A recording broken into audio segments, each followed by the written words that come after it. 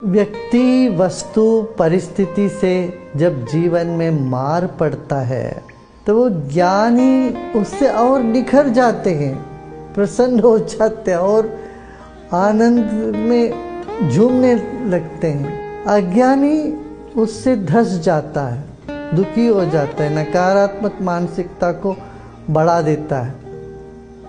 तो हमें यही ये सीख रखना है किसी भी परिस्थिति में जब भी कोई मार पड़े, उससे निखर जाए प्रसन्नता पूर्वक उस चीज़ को अपने मन में लेकर फिर वो परेशान नहीं होना। ये ज्ञान का लाभ है। यदि तुम ज्ञान सुनते हो, ज्ञान की चर्चा करते हो, उसमें रुचि लेते हो, उसका यही लाभ है हर परिस्थिति में। जो व्यक्तियों के साथ व्यवहार करते हो उन सब में से तुम खिलते जाओगे खिलते जाओगे, निखरते जाओगे।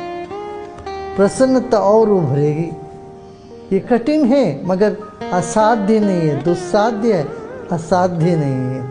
इसको साधना है। कि प्रयत्न करके देखो, तुम एक हफ़्ते के लिए सोचो, हर परिस्थिति में मैं अपने मन की समता को स्थिरता को स्थिमिता को अपनी प्रसन्नता को नहीं खोने वाला हूँ।